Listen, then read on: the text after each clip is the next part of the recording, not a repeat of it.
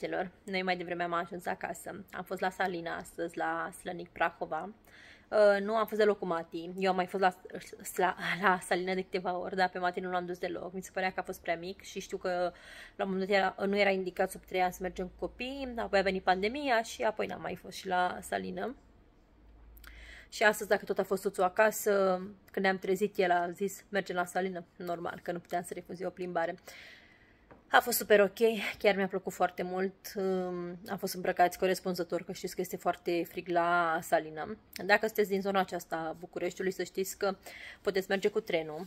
Dacă vreți, aveți tren uh, direct până la Ploiești. De la Ploiești este un tren special care merge până la Salină. Uh, un tren nou, chiar foarte ok, un tren mic, vă dați seama, un vagon două, nu știu cât are dar uh, sunt legături directe și vă lasă fix acolo lângă Salină. Noi am fost cu mașina, am parcat uh, în zona biletelor și de acolo te preia un uh, microbus și cobori în uh, Salină. Ultima dată când am fost eu acum, uh, cred că 10 ani, dacă nu chiar mai bine de 10 ani, mai bine de 10 ani, cred că 11 ani, am uh, coborât cu liftul horror. N-aș mai merge pentru nimic în lume cu liftul acela, dar nu mai funcționează liftul oricum acum. Uh, și e mult mai ok cu microbuzele acelea. Am plătit 45 de lei taxa de intrare pentru adult și 35 de lei pentru, nu, 30 de lei pentru Mati, 120 de lei am plătit pe familie. Am avut noroc că ne-am dus, am prins relativ uh, coadă mică, n-am stat mai mult de jumătate de oră la coadă, am mers rapid, am uh, intrat și când am ieșit era o coadă kilometrică. Nu știu doar fi stat oamenii săraci la coadă, dar peste o oră au stat sigur. Da, am mers ok, chiar ne-a plăcut în Salină, ne-am plimbat pe acolo, am vrut să intrăm și la planetariu, că în Salină este un planetariu, dar n-a vrut Mati, s-a speriat, nu știu ce, de ce s-a speriat el și nu a vrut să intrăm, așa că nu, nu am intrat. Am luat și câteva chestii de la Salină. Am luat o sare de mare, o sare de baie, de 500 de grame. Am să punem și noi în cadă, nu știu exact pentru ce se folosește. O sare de bucătărie, un condiment cu leuștean și cu sare. Al lor marca proprie Salrom și mi-a făcut cu mare și căpăcelul acesta. Și mai aveam ceva. Un pachet de sare. Sare gemă măruntă iodată la un kilogram. Tot la fel de la Salrom. Hai să încercăm și pe aceasta. Um, asta a fost 10 lei, asta 12 lei și asta, nu știu, în jur de 5 lei parcă.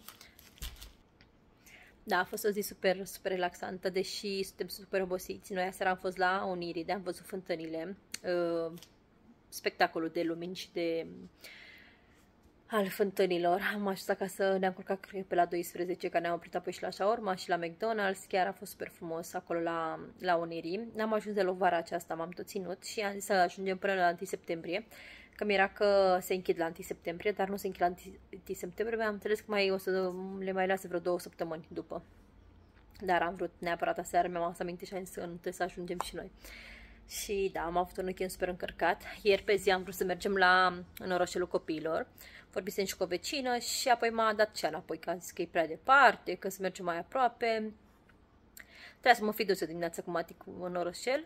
Am mers până la urmă cu ea, am, am mers și cu ea și cu copila și am dus și amicii la McDonald's de dimineață ieri. Am fost apoi, i-am lăsat pe ei la locul de joacă și am văzut, am făcut cumpărăturile la Lidl, ați văzut că am postat deja cumpărăturile. Și apoi am luat pe, pe copilași din, de la locul de joacă, s-au mai distrat și ei acolo. Da, cred că era o experiență mult mai ok dacă eu mergeam cu ei în orășelul copiilor. Vedem când îl mai prind pe soț acasă, cum l-am prins astăzi, să mergem la plimbare. Uh, da, am intrat și în Jumbo. I-am luat ghiozdan lui Mati. Uh, nu eram plan să intrăm și în Jumbo.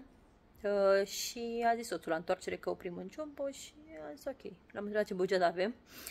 Uh, să știu ce, la ce ne întindem, dar n-am găsit nimic. Nu mi-a luat, nu mi-a luat absolut nimic. Am fost pusă pe rechizite și am zis că nu mi-au acum decât rechizitele copilașului, nu mai mi-am cheltuit nimic din banii mei și am zis că mă duc separat și mi-au ce am nevoie că deja am stat foarte mult la rechizite până le aleg, până te uiți la ele, până te gândești ce-ți mai trebuie. Apoi mai stăteam să mai mă uișor pe la chestiile mele, întârziam prea mult și eram obosit după drum și nu mi-am luat chiar absolut nimic. Am, am luat, nici soțul nu și-a luat nimic, am luat strict pentru Mati și a ales un ghiozdan. E foarte frumos, e cu Minecraft, cum îi place și lui.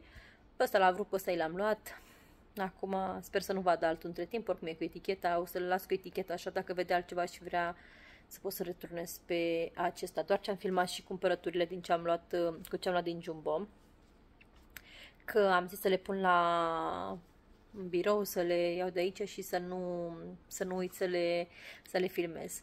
Da, a fost un weekend super aglomerat și super frumos. Chiar, uh, deși suntem rupți de oboseală, uh, ne-am distrat și ne-am simțit super, super bine.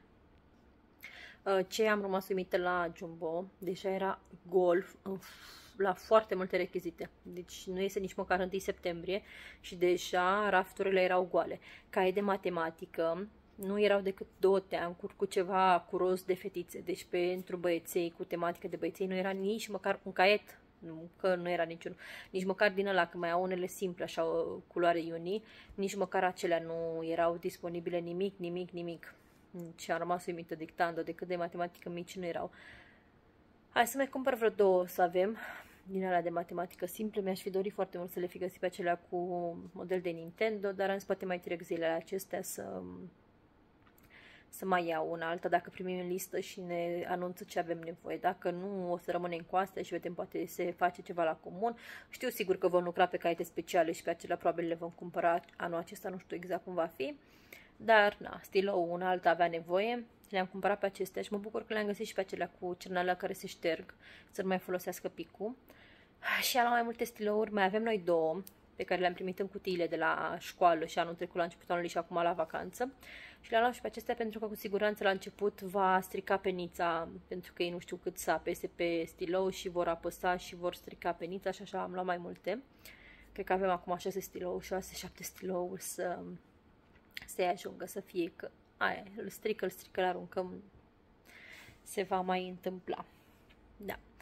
Uh, o să mă pun și eu să-l uh, schimb pe Mati. Sper să fi reușit să fi filmat uh, suficient astăzi. Am, am încercat să filmez prin salină tot, să vedeți și cei care n-ați fost cum arată aici în zona Salina Slănic Prahova, în cazul în care vreți să veniți să vizitați. Uh, și chiar mi s-a părut super ok. Se pare că au modernizat și e destul de ok. Au acolo și un loc de joacă imens și chiar nu a fost scump. Uh, am plătit pentru Mati să se dea în topogane și nebunii și acolo 20 de lei și au avut o jumătate de oră, ceea ce nicăieri nu este o jumătate de oră la gonflabile. Uh, erau trei gonflabile și vreo patru tramboline imense ceea ce e super ok în banii aceștia, și la carturi a plătit 10 lei și avea 10 minute. Chiar mi s-au părut prețuri bune la partea asta de jocuri pentru copilași și mă așteptam să fie mai scumpe ca în parc, dar chiar uh, au fost destul de ieftine. O să mă pun acum să editez și clipul acesta și, uh, și clipul cu cumpărăturile de la Jumbo. Va intra vlogul înainte și cred că cumpărăturile de la Jumbo vor intra marți. Uh, vă doresc o săptămână cât mai frumoasă.